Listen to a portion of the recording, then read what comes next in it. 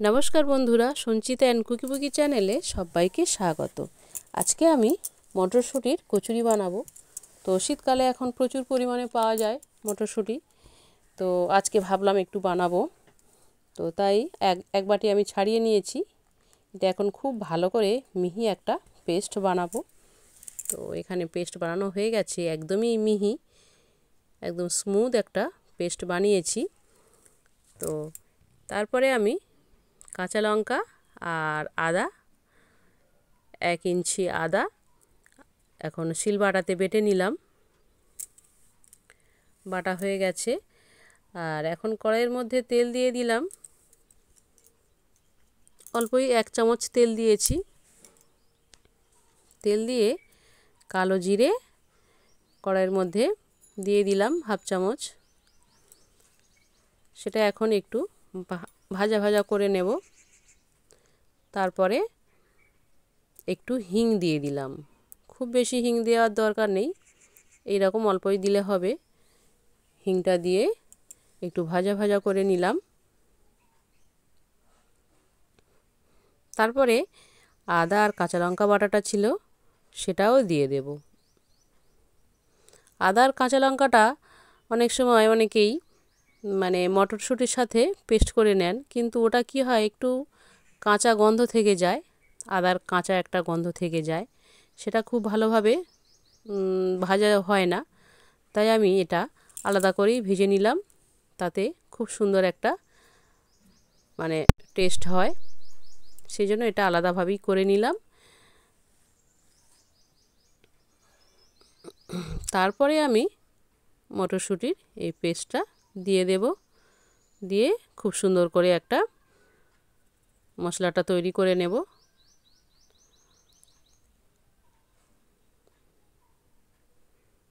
খুব সুন্দর আমি এটা ভেজে নেব।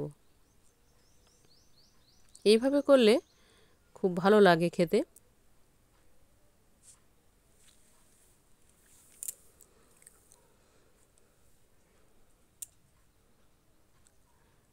এখন মিক্সার গ্রাইন্ডে মগটা ধুয়ে সামান্য একটু জল দিয়ে দিলাম। ওটে, ওটাতে অনেকটা লেগেছিল, তাই। আর স্বাদ মতো লবণ দিয়ে দিলাম। স্বাদ মতো লবণ দিয়ে খুব ভালো করে কষিয়ে নিয়েছি। একদমই আর জল নেই, খুব ভালো করে ভাজা হয়ে গেছে। এখন এক চামচ বেসন দিয়ে দিলাম। বেসনটা দিয়ে আরও ভালো করে কষিয়ে নেব। নিলে কি হয়, মটরশুঁটি বাইন্ডিংটা খুব ভালো হয়, সেই জন্য আমি দিলাম। এখন এটা হয়ে গেছে, দেখুন, কড়ার সাথে একদমই লেগে যাচ্ছে না, এটা একদমই হয়ে গেছে। আর এখন এটা ঠান্ডা করতে দিয়েছি, ঠান্ডা হওয়ার পর কিন্তু পুরগুলো বানাবো।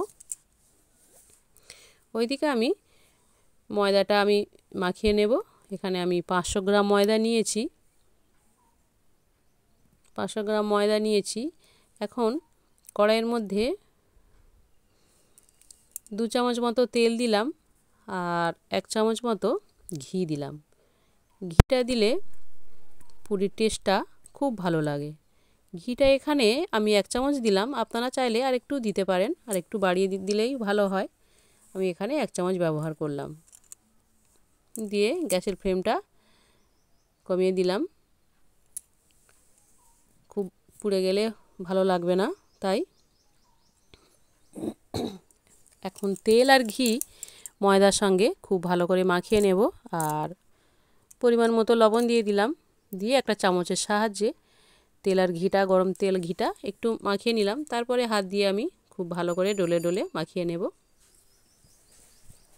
তারপরে কিন্তু গরম জল দিয়ে মাখবো এটা। গরম জল দিয়ে মাখলে খুব ভালো হয়, লুচি পরোটা এসব খুব ভালো হয়। এই পুর। তো এখন মাখা হয়ে গেছে। এখন উপর থেকে একটু সাদা তেল দিয়ে একটু মাখিয়ে নিয়ে রেখে দেব। খুব ভালো করে মাখিয়ে নেব সাদা তেলটা দিয়ে। এদিক ওদিক সব দিকে ভালো করে মাখিয়ে আমি এখন পনেরো থেকে কুড়ি মিনিট ঢাকা দিয়ে রেখে দেব। পনেরো কুড়ি মিনিট হয়ে গেল। এখন দেখুন কত সুন্দর নরম হয়েছে ময়দাটা, খুব সুন্দর নরম হয়েছে। আমি আরেকটু ভালো করে মাখিয়ে নিচ্ছি। এখন লেচি কেটে নেব। লুচির থেকে একটু বড় করে নিচ্ছি আমি, কেননা পুরটা ভরতে হবে ভিতরে, সেই জন্য লুচির থেকে একটু বড় সাইজ নিতে হবে।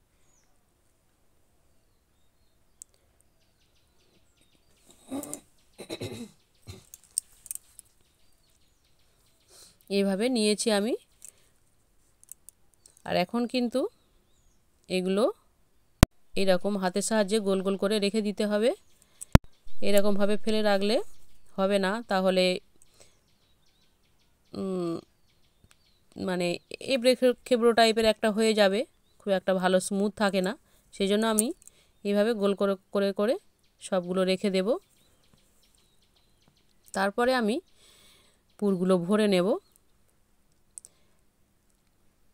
এখন একটু তেল দিয়ে নিলাম। তেল দিয়ে এইভাবে হাতের সাহায্যে একটু ছড়িয়ে নেব। এভাবে ছড়িয়ে নিয়ে তারপরে আমি পুরটা ভরবো। পুরটা একটু ভালো করে হাতের সাহায্যে এরকম পাকিয়ে পাকিয়ে নেব গোল করে। এরকম গোল করে নিয়ে মাঝখানে দিয়ে আবার চারিদিক থেকে মুড়ে দেব। মুড়ে দিয়ে গোল করে হাত দিয়ে একটু চ্যাপটা করে নেব। একটু চেপে চেপে দেব। চেপে চেপে দিয়ে হাতের সাহায্যে এইভাবে চেপে চেপে চারিদিকে ব্যাটারটা একটু ছড়িয়ে দেব। সরি ব্যাটার নয় পুরটা পুরটা একটু ছড়িয়ে দিয়ে হালকা হাতে এটা ভালো করে বেলে নেব।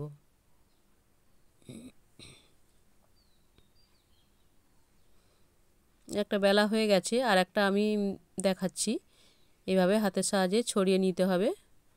নিয়ে পুরটা একদমই মাঝখানে দিতে হবে। হাতের সাহায্যে এরকম গোল করে নিয়ে মাঝখানে দিতে হবে। দিয়ে আবার চারিদিক থেকে মুড়ে দিতে হবে। চারিদিক থেকে মুড়ে দিয়ে এরকম করে দিয়ে হাত দিয়ে একটু চেপে চেপে দিয়ে সবগুলো এইভাবে আমি বানিয়ে নিয়েছি। এখন কড়াইয়ের মধ্যে তেল দিয়ে দিলাম। তেল দিয়ে দিয়ে তেলটা গরম হয়ে গেছে। এখন খুব ভালো করে গরম করে নিতে হবে তেলটা। আর গরম তেল এইভাবে পুরির উপরে কোনো চামচ দিয়ে এভাবে দিয়ে দিতে হবে। তাহলে কিন্তু খুব তাড়াতাড়ি ফুলে যাবে।